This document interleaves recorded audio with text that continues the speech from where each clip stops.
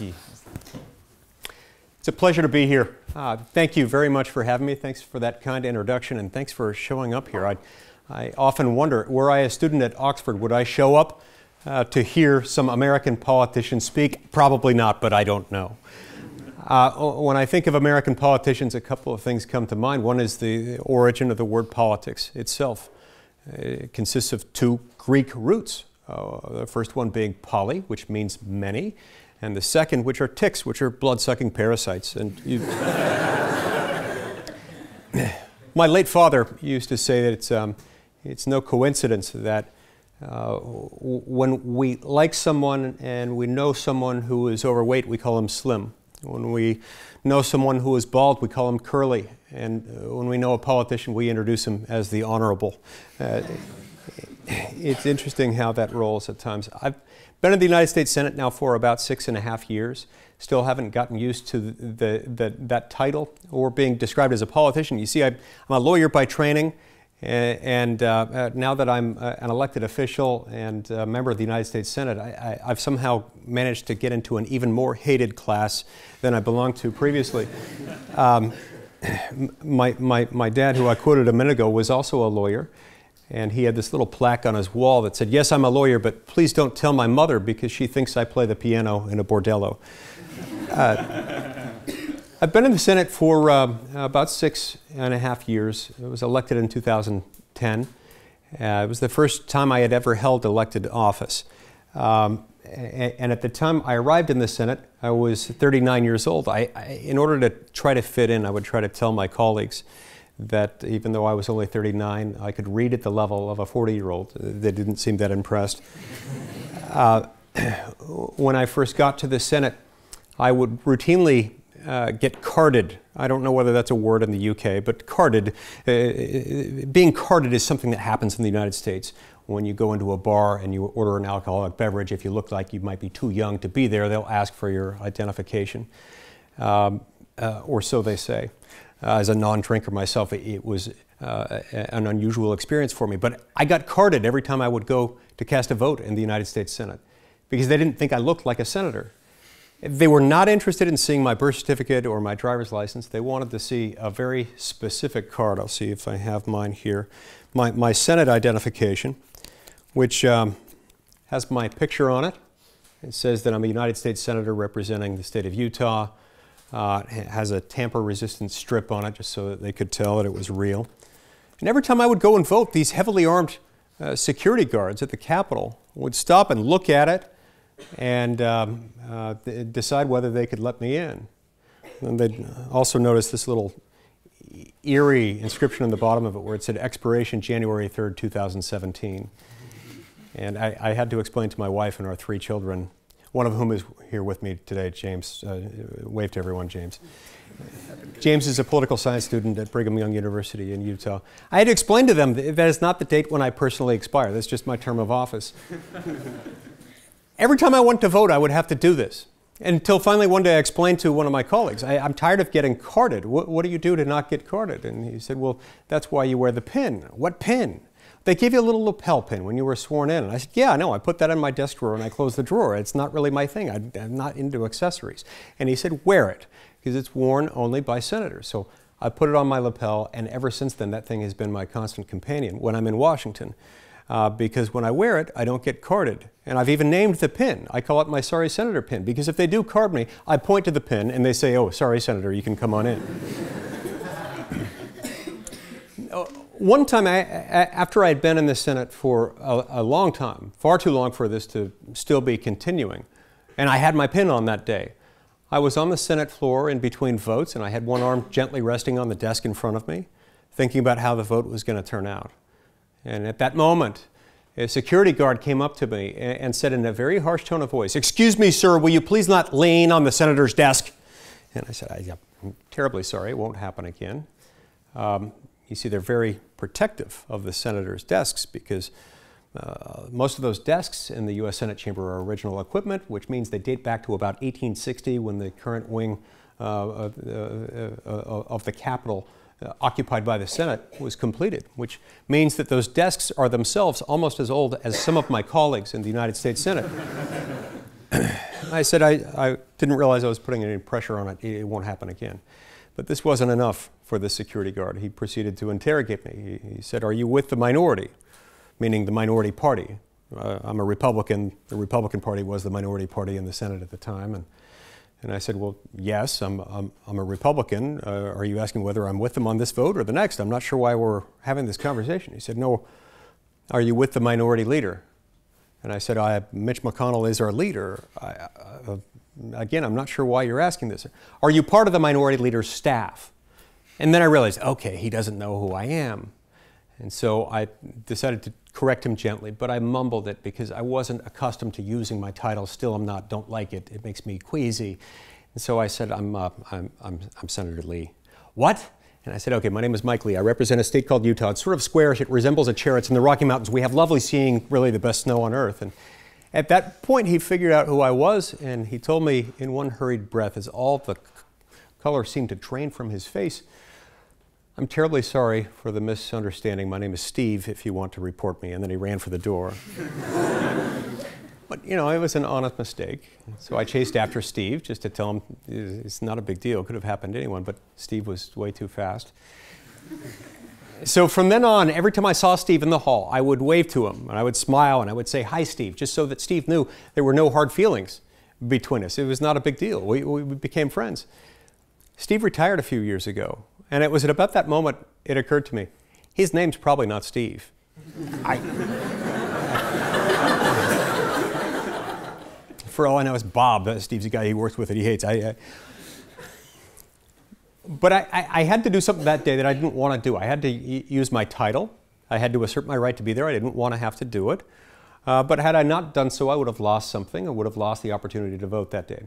The three million people I represent would not have had me representing them in that chamber that day. It would have been taken away from me, even though I had just earned the right to be there. I had been granted the right to be there.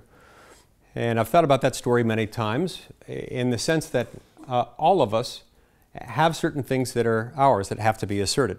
Not just members of the United States Senate, not just elected officials, uh, but all of us in one way or another have certain rights that are properly ours. And sometimes, if those rights are not asserted, unless they're asserted aggressively, vigilantly, even when, especially when it's difficult, some of those rights sometimes will cease to be as meaningful as they otherwise would be, and could be, and should be. In the United States, we have an interesting system of government. It's somewhat unique in the world. It, it was especially unique at the time when we undertook this experiment. Uh, but uh, in our system of government, we have a number of rights, a number of things that we have identified that the government cannot do to us. Uh, we also have other rights that consist themselves in a structure, in a form, that is policy agnostic, that is uh, uh, politically detached from any, any type of modern political preference there are two features of uh, the United States Constitution that make it somewhat distinct and that were somewhat revolutionary at the time it was put in place. Uh, those structural protections are as important as any other thing that we have decided government cannot do to us. How government goes about something, which arm of government acts, if at all, and how it does those things matters. And it matters in a way that I think modern American society hasn't always appreciated, but needs to come to appreciate more than it does today. I believe we have to come to assert those rights more faithfully, even when it's difficult. And in fact, it's especially when it's difficult that it's important to assert them. Let me explain what I mean. There are two structural protections at the heart of the United States Constitution. One operates on the vertical axis, the other horizontal. On the vertical axis, we have a division of power that we refer to as federalism. The idea in the U.S. constitutional system is that most powers in government are to be left close to the people, to be exercised at the state and local level, where it's close to the people. The idea here is not that local government and state government is always best, or that it's somehow infallible. Quite to the contrary, state and local governments mess up all the time. Why? Well, because they're governments, and because governments are run by people. People, while redeemable, are imperfect. They're flawed, they're selfish, and they engage in self interested behavior. That's exactly why we have governments, because human beings are flawed, and it's why we have rules surrounding government to make sure that government doesn't become abusive of those powers. So, when we place most of the power in our system of government close to the people at the state and local level, we make those powers easier to turn around. Imagine the difference between turning around a small boat or a jet ski, a personal watercraft, on the one hand, and on the other hand, turning around a battleship or an aircraft carrier. One can be turned around in less than a second. The other might take some time and is much more difficult to maneuver. In our system of government in the United States, we're supposed to be able to honor local preferences regional differences in how people choose to govern without having to make everything a national concern.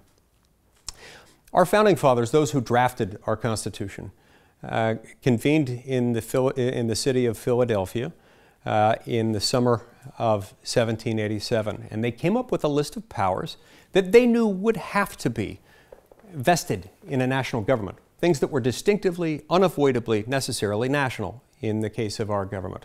Those included the power to provide for our national defense, to declare war, to regulate trade or commerce with foreign nations uh, and, and among and between the states, to coin money and regulate the value thereof, to come up with a uniform system of weights and measures, of postal roads, to protect intellectual property, trademarks, copyrights, and patents. And then there's my personal favorite power of Congress, the power to grant letters of marque and reprisal. Marque in this instance is spelled with a Q. I'm convinced that it probably is found more frequently in English parlance than it is in the United States, but a letter of marque and reprisal is a hall pass issued by the United States Congress that allows the person holding it to engage in state sponsored acts of piracy on the high seas, which is really, really cool if you think about it. I, I, have no idea how long I will serve in the United States Senate, but one day I'm going to get a letter of marque and reprisal. I'm going to be a pirate. I will have a parrot and a flag with a skull and crossbones, so you're all invited to join me. but my point is that on that list of powers that I mentioned, outlined in the United States Constitution, you will not find a catch all. You will not find something that says Congress shall be empowered to legislate in all cases whatsoever of concern to the American people. These are discrete, distinct, finite powers, or were intended to be such at the time they were written. That's the vertical separation that we call federalism. There is a horizontal separation that we call separation of powers. It refers to the three functions of government uh, and the three branches of government created by the Constitution itself. Uh, one branch, the one where I work, Congress, consisting of the Senate and the House of Representatives, has one job and it's to make the laws. All legislative powers, all lawmaking powers in the federal government are supposed to belong to us and we're elected for limited periods of time to make any and all federal law arising during that period of time. Senators like me are elected for six year increments, members of the House of Representatives for two year increments. We are the branch of the federal government most accountable to the people, the most subject to popular will, and most replaceable by the people at regular intervals. Uh, then you've got another branch headed by the president, the executive branch, whose job it is to enforce the laws. And then you've got the other branch, the judicial branch, headed by the Supreme Court, whose job it is to interpret the laws. In the United States, over the last 80 years, we have drifted steadily away from both our vertical protection called federalism and our horizontal protection that we refer to as separation of powers. And just to be perfectly clear that this is not a partisan statement, this has occurred under the management of houses of representatives senates, and presidencies of every conceivable partisan combination. Members of my party have at times been uh, as great of offenders of federalism and separation of powers as the other political party in the United States. Both parties have colluded, in effect, over the course of the last 80 years to take power away from the American people in two steps. First, away from the people where they exercise most powers of government at the state and local level and move it to Washington, D.C., our nation's capital.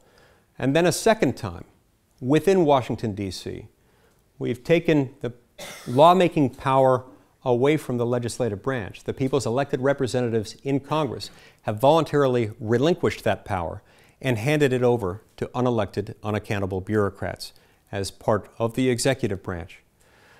We have done this to our own peril and to our own detriment. That is to the detriment of most of the American people.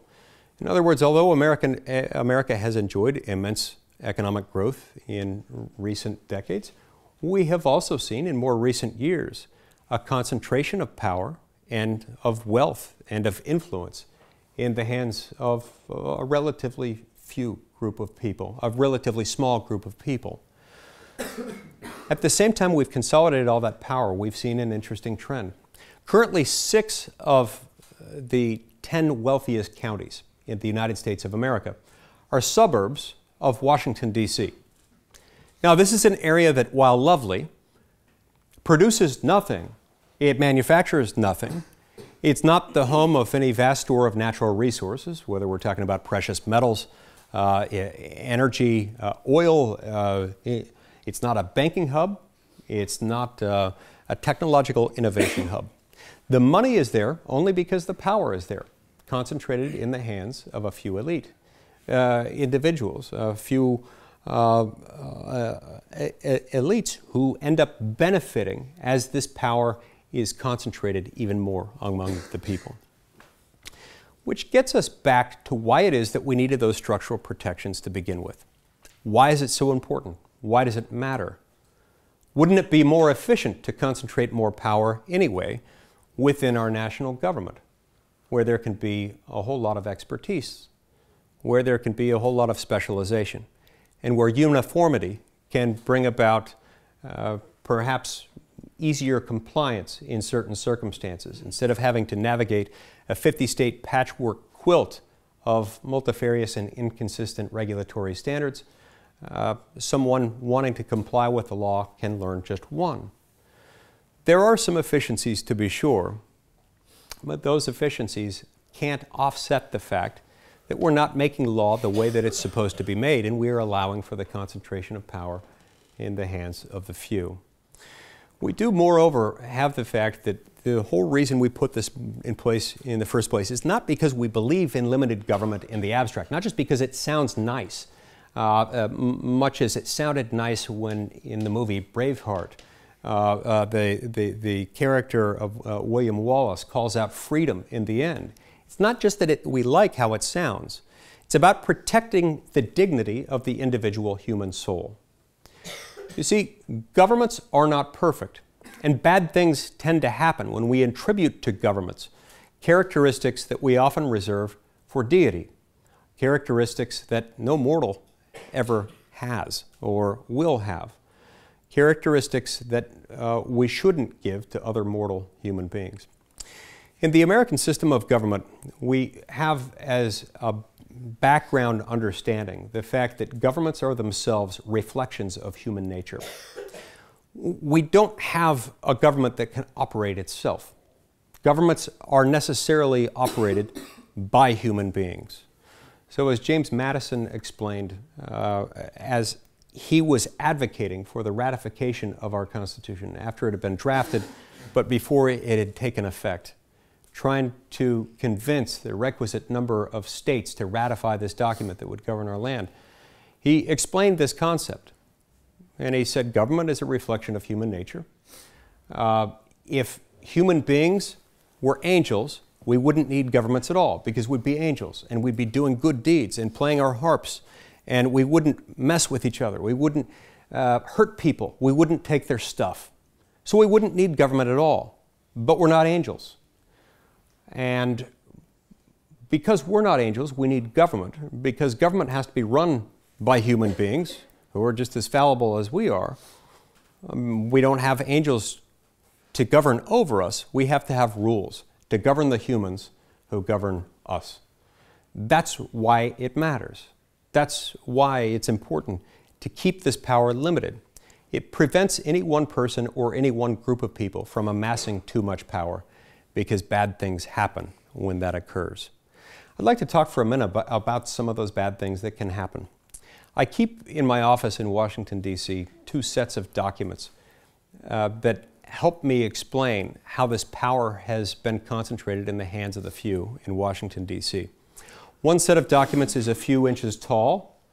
Uh, for most years, it's either a few hundred or at most a few thousand pages long, uh, usually standing about that high. Next to it, I have another stack of documents uh, that is 97,000 pages long. It's 13 feet tall. The first stack, the small one, uh, the one that's usually a few inches tall, consists of all the laws passed by Congress last year. The stack that's 13 feet tall and 97,000 pages long, that's last year's Federal Register. The Federal Register in the United States is the annual index of federal regulations as they are initially released for public comment and then as they're finalized. They become, in effect, laws. It's just that they're laws made not by people who stand for election at regular intervals, but by unelected, unaccountable bureaucrats. Well, bureaucrats who, to be fair, are by and large very hardworking individuals, often highly specialized, uh, uh, uh, well intentioned, and hardworking. But they cannot be fired by the people. That's an important distinction.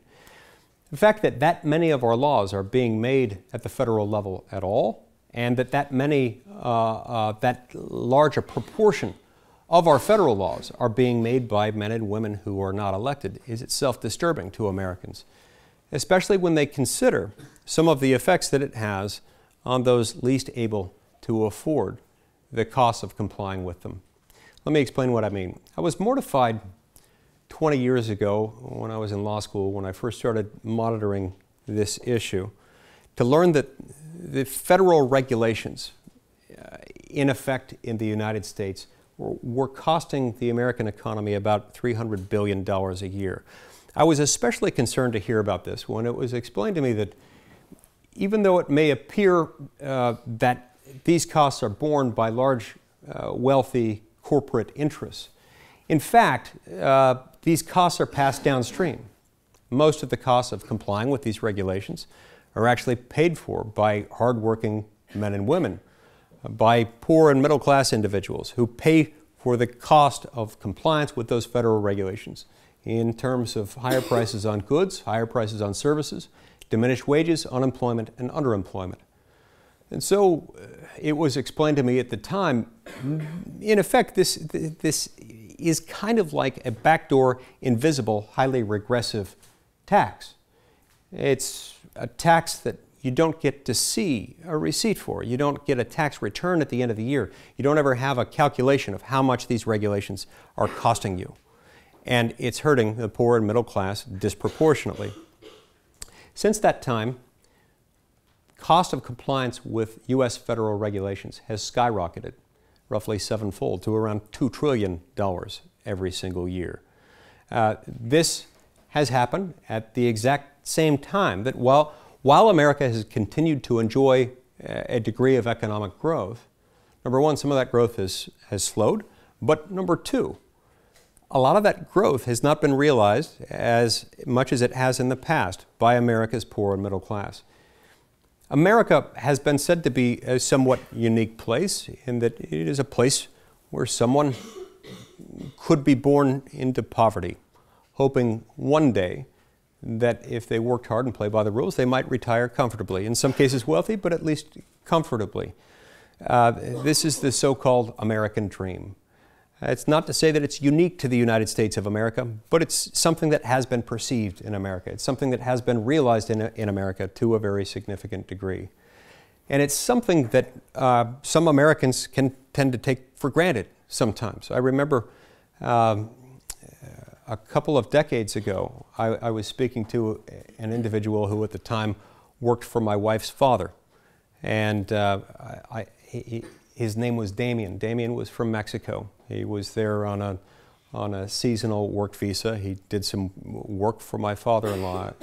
I, am fluent in Spanish, and I always relished the opportunity to speak to Damien. I uh, found him interesting. He was funny. He spoke very good Spanish, being from Mexico, and, and it gave me a chance to sharpen my skills. One day we were talking, and I was asking him, What do you really think of my father in law?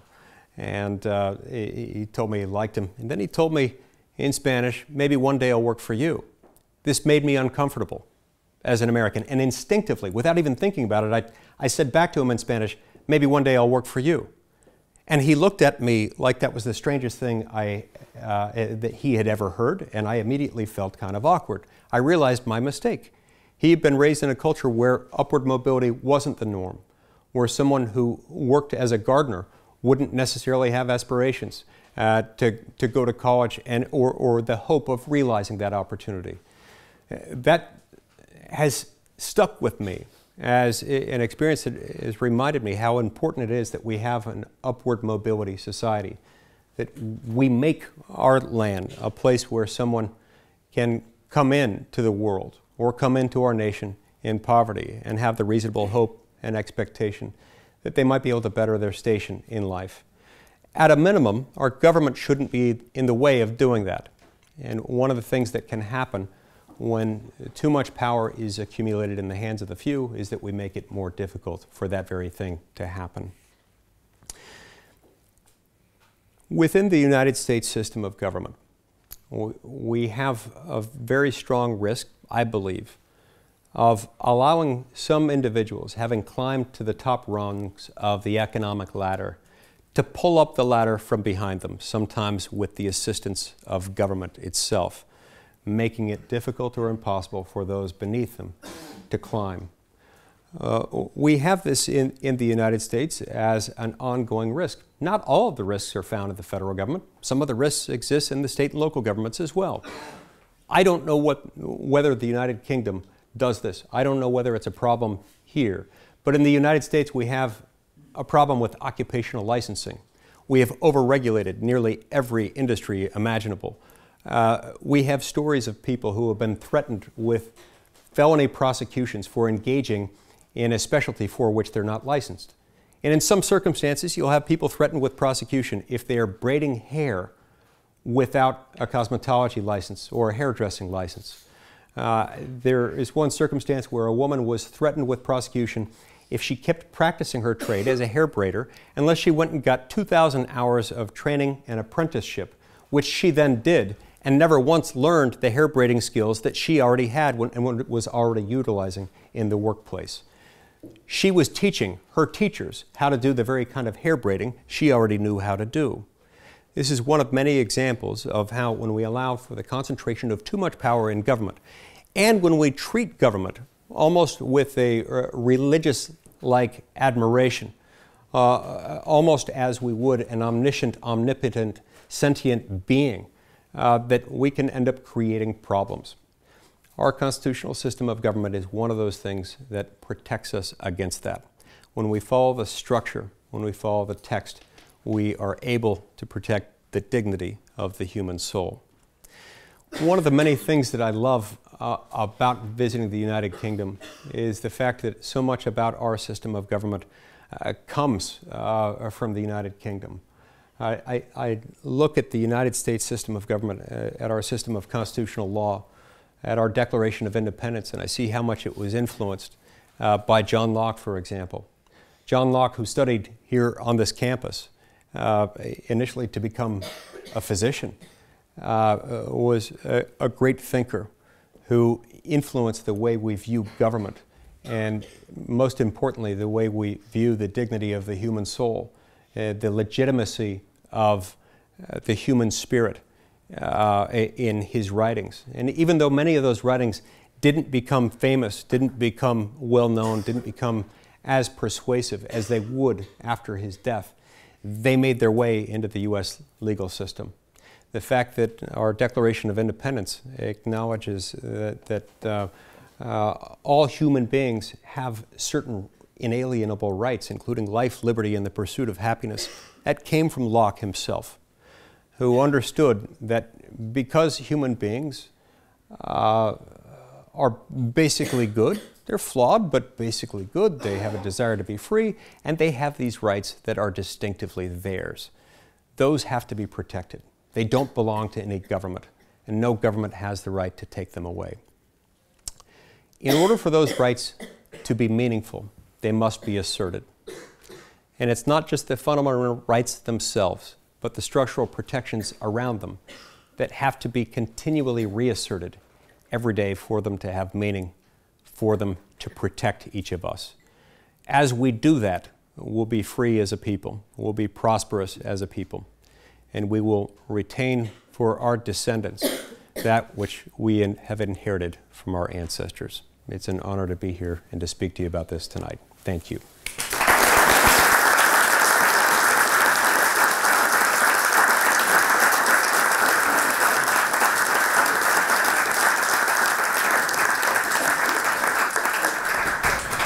Thank you, Senator Lee. That was uh, fascinating, and thank you so much for, uh, for coming to speak here this evening.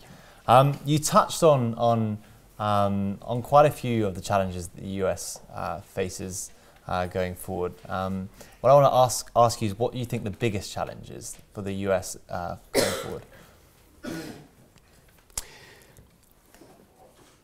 One of the many manifestations of uh, the problems that I've described tonight uh, is our national debt, uh, which stands at around $20 trillion right now. Now, $20 trillion is a lot of money. Our interest on that national debt is about $250 billion a year, which is an enormous amount of money. But that's not the scary part. The scary part is that that annual interest payment is roughly the same as it was 20 years ago when our national debt was, what, a sixth of its current size or something like that. The only reason that our annual interest payment on that debt is only 250 billion a year is because we have these all-time historic low treasury yield rates, which have uh, been achieved through a, a, a, very interesting, complex process. But it's a process that cannot go on in perpetuity, meaning the laws of mathematics are such that what goes down must inevitably ultimately come up. And, and as soon as our annual, uh, as soon as our treasury yield rates return to something even approaching their historical average, it won't be very long until we're spending more like a trillion dollars a year just on interest on our national debt instead of 250 billion a year. That has stunning implications for everything, not only in our system of government, but for our, our culture as a whole. There, uh, there, there is not a tax increase I can fathom that could predictably, sustainably yield uh, the difference. You know, we're going to have to come up with another, what, 750 billion or so a year on top of our existing deficit in order to sustain that. I, I can't fathom a tax increase capable of doing that without simultaneously slowing uh, economic growth or, or even resulting in negative growth. Uh, nor can I fathom that we could achieve austerity, cuts sufficient to take that down in a sufficient years. What do we do then? Do we print more? Do we borrow more, thus causing the Treasury yield rate to go up even more and, and widening this gulf that I described? So I, I see that as perhaps the single most glaring manifestation uh, of this fundamental challenge. The, the whole reason we're in that situation to begin with is because in the United States, we have come, again, under the leadership of Republicans and Democrats alike, over the last 80 years, to view the federal government as a sort of Swiss Army knife. It's, it's there for whatever ails us, anything we want, any problem that we have is something that we turn to the federal government for. Uh, but it's not sustainable. Okay. Um, obviously, um, sort of uh, the elephant in the room is the fact that a lot of people at Oxford, for example, aren't great supporters of Donald Trump. And, and in, in his campaign, you were an adamant supporter of Cruz and, and even questioned Trump, uh, President Trump's commitment to the Constitution. How do you think his administration has performed so far? Look, um, the day he took office, uh, regardless of what you might think about Donald Trump, what, what, regardless of what else you might think about him, there is a statement that he made in his inaugural address that I, I think he firmly believes and I think is very important. When he said, I want this to be about much more than just a transfer of power from one administration to another, one president to another, one party to another. I want this to be the beginning of a transfer of power from Washington, D.C. back to the American people. This message, to the extent he will stay with it, could be the most unifying and powerful theme of his presidency. And it's one that I believe has potential to garner support, even from, especially from some of his most ardent critics. Uh, and, and, so if, if, if you don't like Donald Trump, if he makes you nervous, that ought to be an argument in favor of restoring the American system of federalism and of separation of powers. The fact that people can fear so much what one individual might do might perhaps be trying to tell us something about how far we've drifted from our system of government, which is supposed to preclude any individual from becoming so powerful that people can fear him that much. So far, this president has uh, done a number of things that I think are consistent with a move in that direction. For every new federal regulation his administration has issued, he's taken down either 15 or 16 old regulations. Um, he ha- has tried to move in the direction of federalism and separation of powers. And so, so far, he appears to have a desire to do that that's much stronger than what we see out of Congress. Uh, I wish Congress were ready to proceed in that direction. But I hope that it will, and, and, and I will continue to invite, especially my Democratic colleagues, to join me in this cause.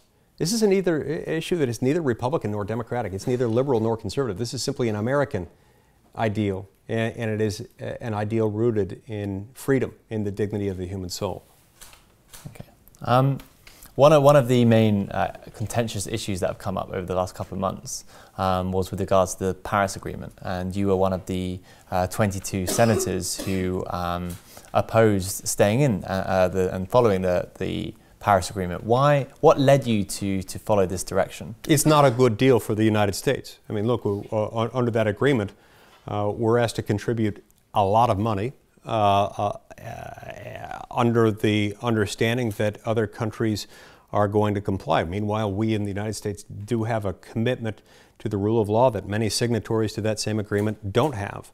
And if what we're going to do is dump a whole lot of money into something that others are not going to comply with and we are, it's not a good deal for us. On, on Friday, we hosted um, Jeffrey Sachs, the economist, uh, and a point that he raised, um, sort of with, with regards to that, is that uh, a lot of politicians are so transfixed and keep using the bu- buzzword of growth. And indeed, in your first answer, you sort of mentioned growth quite a lot. And the issue with using that buzzword is it doesn't always encompass all of the factors that uh, you should be encompassing when you're measuring su- the success of a country. So growth is usually economical, whereas uh, what you should uh, do to measure success is incorporate social, environmental. Do you think um, how, how would you respond to that uh, sort of interpretation? Do you think how would you how do you think we should measure success of a country? Um, because yes, okay, we might be pouring more money uh, into sort of uh, the Paris Agreement because of uh, that that saves and adds such an environmental benefit to that. How do you sort of conflict and, and, and compromise with those?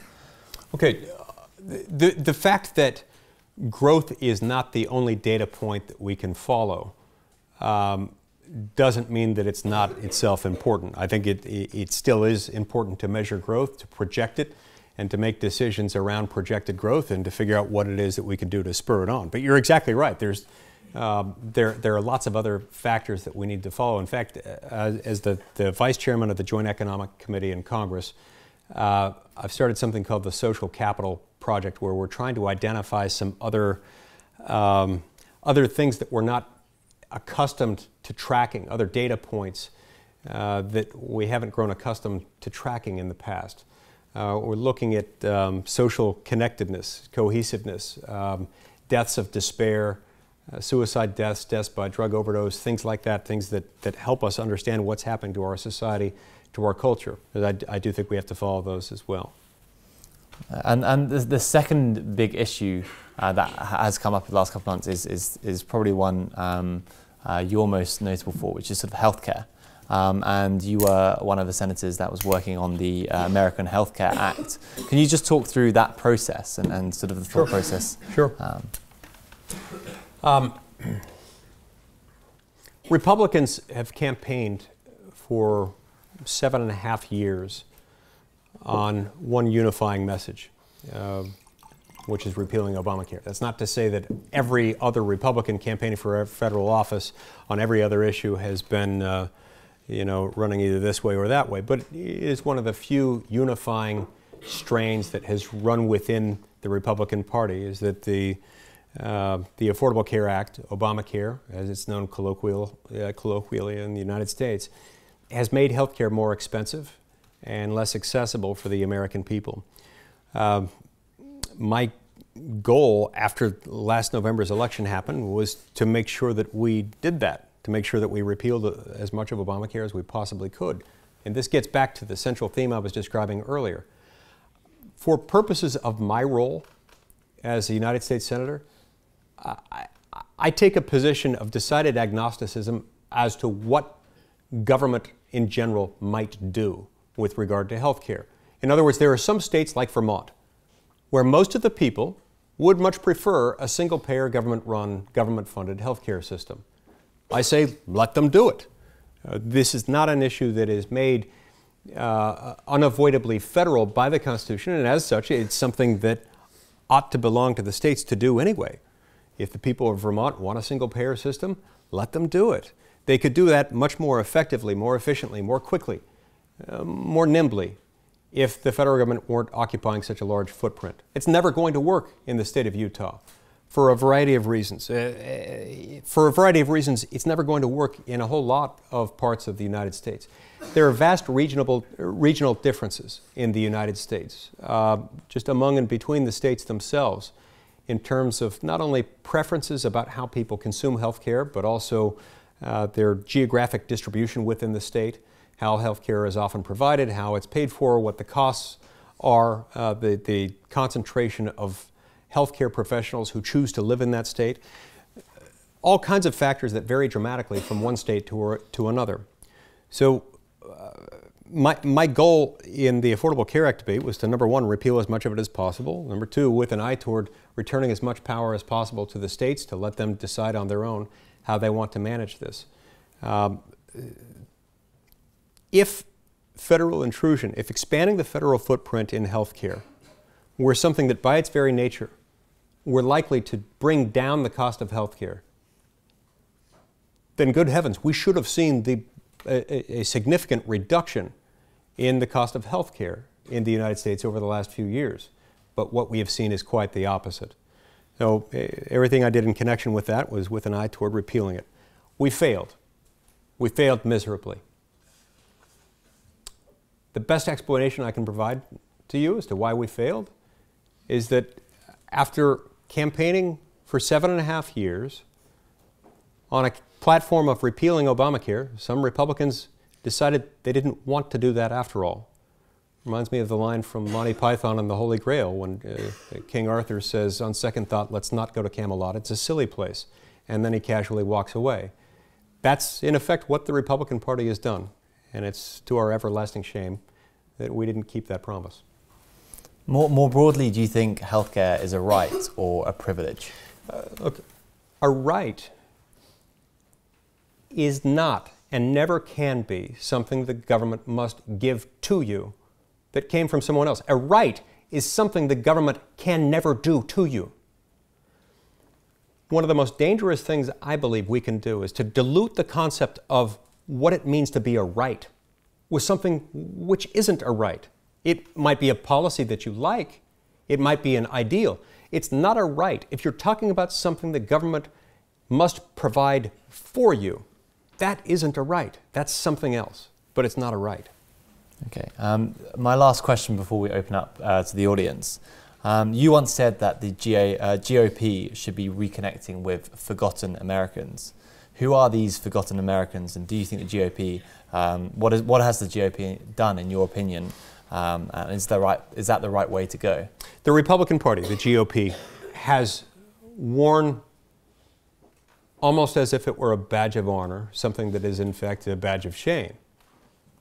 It has worn and displayed almost proudly this badly caricatured image of the conservative movement as being the movement for the top 1%, for the country club, for the elite. It is not that.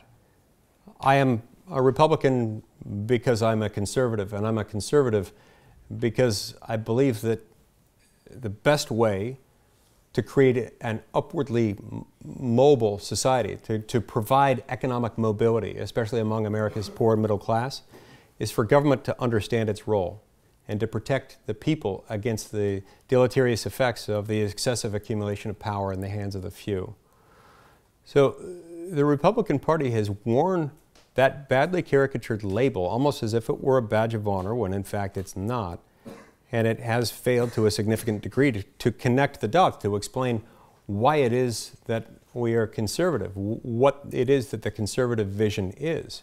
When we fail to do that, we, are, we remain doomed throughout that failure uh, uh, uh, to, um, we're going to fail to be able to accomplish our task when we can't even connect the dots and say, this is why we are conservative. We are conservative because we believe that poor and middle class individuals will have a better shot at a better life if we keep government, and the federal government in particular, in its proper lane. Okay, thank you. Um, right, we're going to open up to the audience now. So if you have a question, please raise your hand nice and high and then wait until the microphone uh, comes to you. Uh, let's start. Yeah, just you on the end. Senator, you mentioned government colluding to take away the power of the American people. And since 2010, Republican state governments have colluded to redraw electoral maps to give uh, members of your party a systematic electoral advantage. Uh, do you think that's a bigger problem than over licensed hair braiders?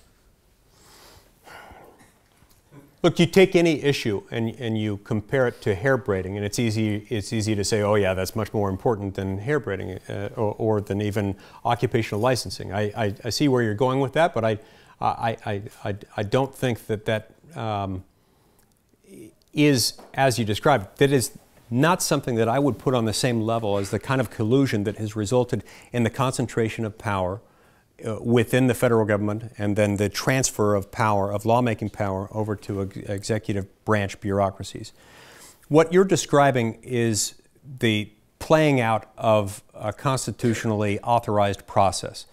In our system of government, every 10 years we have a census, and that census is used to allocate uh, uh, representation in the House of Representatives to decide how many representatives each state will have. Uh, that, that, that is done federally. And then within each state legislature, that legislature gets to decide what the boundaries of each legislative district will be.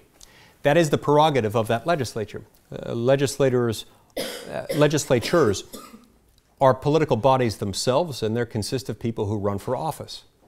Uh, and so, insofar as those uh, legislatures, more of them are currently occupied by Republicans than Democrats, it's not surprising to see that they're going to draw that with their Republican goals in mind. The interesting thing about the question you ask is that in the United States, it's often attacked um, by those who, who, don't like it, and it often becomes the focus of a remedy that itself, I think, would be an even graver departure from the constitutional standard. Many who, who don't like the system as it is, the system the con Constitution contemplates. Say maybe each state should hand it off to a bipartisan uh, committee or commission. In other words, delegate more lawmaking power. It's more of the same thing that has created the uh, administrative state within the federal government. When legislators fail to legislate, when they delegate to someone else a task just because it's difficult or might result in an unpopular decision, it disconnects the people. It's not to say every state legislative decision is correct or even every redistricting decision is correct. A lot of these districts don't make a whole lot of sense unless you look at them through political lenses. But it is those political lenses that themselves give life to our system of government, which puts people in, in, in charge of it. When they don't like their representatives and the way they draw their legislative districts, they can fire them. I'm not aware of any other system uh, that, that would have this feature. So it's, it's not the point that we always get perfect government uh, in a Republican form of government, but it is the case that the people remain in charge. Great. Yeah, let's go to the back there. Yeah, that one there. Yeah. Sorry, I'll try to be faster. That was way too long. That's okay. I, I need Thank you so much for coming, Senator. You were one of the last members of Congress to oppose funding for the Clint, for the Flint crisis in Michigan. I was just wondering if you'd like to discuss that. Yeah. in Flint, Michigan, there was a problem with water contamination. Um, I was never presented with an argument as to why, number one, a combination of the city of Flint and the state of Michigan. The state of Michigan, which, by the way, at the time was operating with a significant surplus, couldn't handle this problem. Uh, unless the state is unable to handle it, and unless it is for some reason proper for the federal government to take charge of that issue, there is a lot of harm that can come from Congress stepping in and saying, we will do this. What you had in Flint, Michigan was the failure of a municipal public utility uh, that did some really bad things. If every time a municipal public utility does bad things, if Congress, without any certain uh, authority to do so, without any sense of inevitability as to why only Congress can handle this, if Congress steps in and funds the entirety of the uh, uh, uh repairs that need to be done, you're actually going to have more of the same types of crisis, uh, crisis that occurred in Flint occurring elsewhere in the United States because it's an invitation for more federal money. So uh, here again, th this is yet another question of uh, which level of government. The fact that government should step in doesn't always mean it should be this government, meaning the one in Washington, D.C. Uh, yeah, let's go uh, the corner there. Yeah, you at the very back. Yeah. Hi. Um, you mentioned that you wanted states to have more jurisdiction over their own laws. For example, you mentioned Vermont having healthcare and other states not. But however, do you not think that that creates an inequality between citizens and therefore may breach the 14th Amendment? Uh, no, no, I don't. The, the 14th Amendment's Equal Protection Clause does not guarantee uh, an equal outcome in terms of uh, their ability to live in an economy that is just as strong as their neighboring states. If that were the case, we would, all 50 states would in some way or another be in breach of the 14th Amendment as things stand now. That is not what the 14th Amendment says, not what it was intended, not what it ever could say. Quite to the contrary, uh, in the circumstance you described, where each state had the ability to undertake something different, what works well in Vermont isn't necessarily going to work as well in neighboring New Hampshire or in distant Utah. Each state needs to be able to experiment according to local preferences uh, and local trends in that state, and I think we'd all be better off as a result. Yeah, uh, you in the red jumper.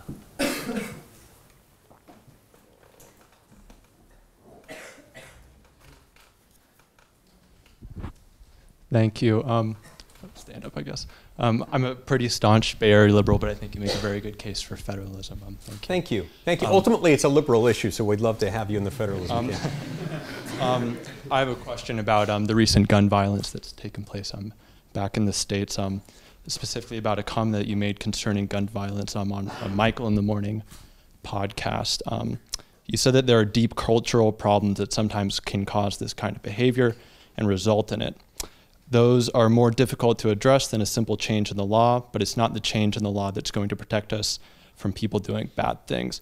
I'm wondering what it is you think about our culture in the US um, that leads these problems to occur. And then, secondly, um, if the law's lack of efficacy is a reason not to have that law, then I'm wondering if um, something like the ineffectiveness of laws restricting abortion would be an argument um, in favor of not having uh, restrictions against abortion. Okay. In response to your second question, there is no debate on that point. The United States Supreme Court took that debatable matter beyond debate, made it federal, and took it out of the hands of the people uh, in 1973. That's the end of the issue. That's not even subject to debate anymore, at least outside the uh, halls of courts.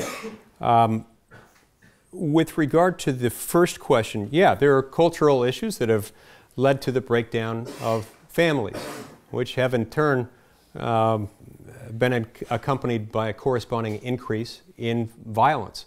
Not just gun violence, but other forms of violence itself. And so, yeah, those are some of the cultural problems. By the time you have one of these shootings, there are a whole lot of laws that have been violated. I, I, I can't even enumerate for you the number of laws uh, that, that are violated every time someone uh, like this guy who opened fire tragically just a few days ago in Las Vegas did. And so, if the creation of an additional law would stop something like that, we would all jump at the chance to do that. Um, the fact is, it's, it, it, doesn't work that way. And in the United States in particular, uh, whether you think it should have been this way from the outset or not, we have a lot of guns in the United States, uh, more per capita than, uh, than most countries do. And, and if, if you could snap your fingers and say, let's not have guns, and somehow all those guns disappeared, uh, if you could do that, and you could do that through the stroke of the executive pen or, or through legislation, uh, that would be one thing. But it's quite another thing when you have um, more than one gun for every man, woman, and child in America. Those guns, in fact, exist.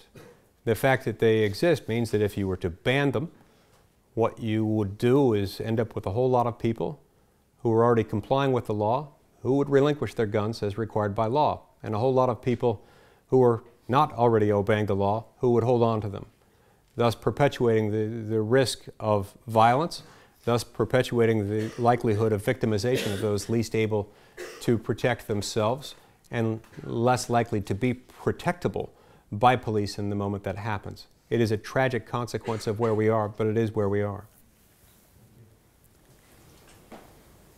Uh, yeah, you in the grey top, yeah. Uh, hi, Senator. Um, so um, my question is basically, you know, why have you and many Republican colleagues, as you cited the debt as being the most important issue that we have to address, in your opinion, why, why, why is that the case, um, given that really, economically speaking, the absolute size of the debt is not necessarily that important, and what matters more is actually deficits and the impact that they're going to have on interest rates, investment, and consequently inflation as well. Because you cited the size of the interest payment and the way that that's going to grow uh, with the growing debt.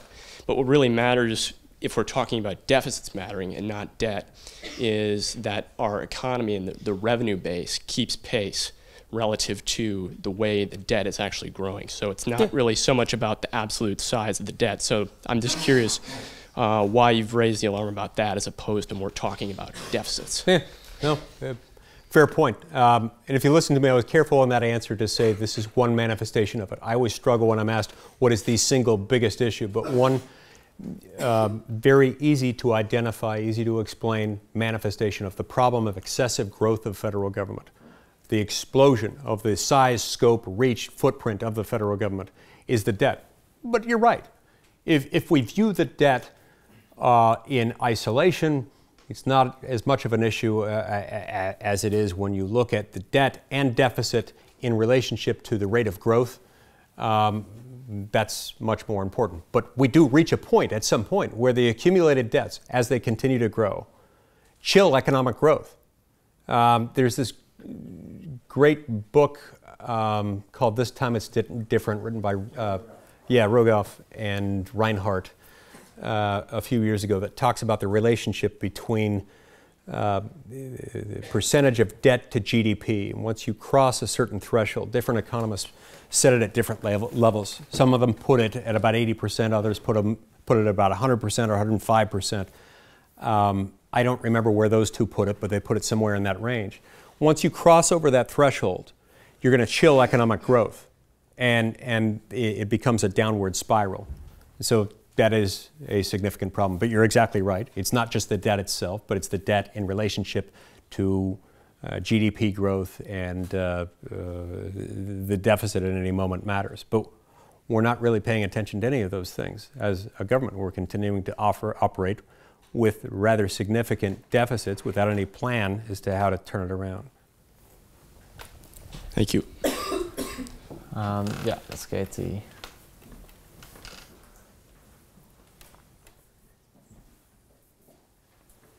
Um, hi, Senator. Thank you for coming and speaking to us tonight. Um, you said several times that we want to avoid concentrating the power um, in just a few hands in Washington, D.C. Um, in 2013, you were part of the um, movement in the Republican Party that shut down the government for 16 days.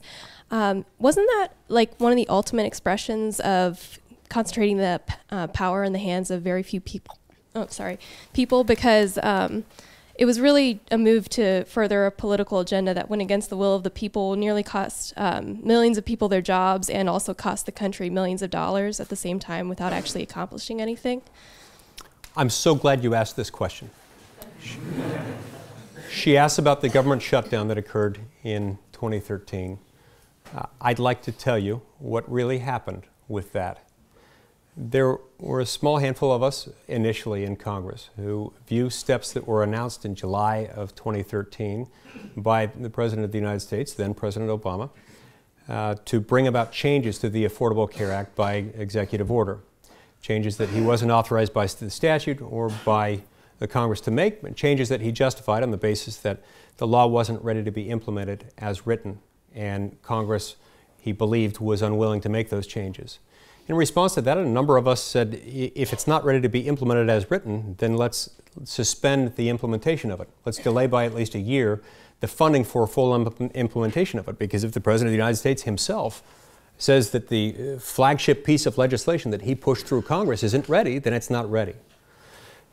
It culminated in an argument that, that focuses on one of the other significant problems in Congress, one that I didn't mention earlier, but that it's closely connected to those, which is that Congress has started a very bad habit over the last few years of focusing every spending decision on one bill. In other words, in any other entity, uh, that makes lots of spending decisions, that spends a lot of money. Certainly, a government that spends nearly $4 trillion a, uh, a year, as the US government does, you would think that there would be uh, a number of decision points in that process. By law in the United States, there's supposed to be at least uh, a dozen or so separate spending bills, each with its own process. Uh, uh, one bill funding the military, one bill funding um, uh, criminal justice efforts, another one uh, funding veterans benefits and so forth. In recent years, that process has been curtailed by leaders of both political parties in, in Congress so as to concentrate all the spending decisions into one bill. Sometimes it's a, a, continuing resolution, which is basically a reset button that says, let's keep everything funded at current levels. Sometimes in the form of what's called an omnibus spending bill, where you, you lump all of those spending decisions into one. It's a new bill. You're not just hitting reset, but you're spending it. What we said in 2013, which went uh, underreported and was often um, misreported in 2013, was not let's shut down the government. I never called for a shutdown of the government, uh, nor did any of the people I was working for. What I said, uh, actually, I won't speak for others, I will speak for myself. What I always said was we need to have multiple spending decisions on spending bills. At a minimum, there, there should be a lot more than that, but at a minimum, there should be two bills, two spending bills, and no less. One dealing with the funding of Obamacare, which the President has said is not ready to be implemented, and another one dealing with everything else. We introduced legislation. We proposed uh, that we consider spending legislation that would have separated those out. Uh, President Obama and uh, Majority Leader Reid at the time made the decision that unless we were willing to fund everything in government, then we would not be allowed to fund anything in government. We tried to fund everything in government but Obamacare. They wouldn't let us. The president promised to veto it. Harry Reid said he wouldn't bring it up. We tried to fund just veteran, veterans benefits alone. Harry Reid said he wouldn't bring it up for a vote. President Obama said he'd veto it. Uh, this was what we were dealing with. And what I was saying is, let us have a vote on that issue. Sure, this people had spoken when they passed Obamacare into law. That law had proven not ready to be implemented by the president's own admission. We should have had an opportunity to vote on that, just as we should have an opportunity to vote on every major piece of government as a separate, divisible piece without lumping everything together. I've sometimes described it this way. If, if you move to a, uh, an outlying rural area, you walked into a grocery store and you thought, I've just got to buy the basics, just bread, milk, and eggs. You'd go to your grocery cart, you'd put in a loaf of bread and a carton of eggs and a jug of milk. You get to the checkout counter, and the cashier says, You can't buy only these items. And you say, What do you mean? Well, you, you can't just buy th- these. You have to also buy a half ton of iron ore and a bucket of nails and a Barry Manilow album and a book about cowboy poetry. In fact, you've got to buy one of every item in this entire store if you want to buy any of these items. That is what spending is like in Congress. And it, it continues to be a problem to this day, even under uh, Republican leadership. That is what puts us at the, the, the, risk of that kind of, of shutdown every time. It was, to be perfectly clear, not my decision to shut down the government. To suggest that it was would give far too much credit to a, a junior, balding, overweight uh, uh, senator from the Rocky Mountains. This was the decision of the President of the United States acting in concert with the Senate Majority Leader. Right. I'm afraid that's all we have time for uh, this evening. So please join me in thanking uh, Senator Mike Lee.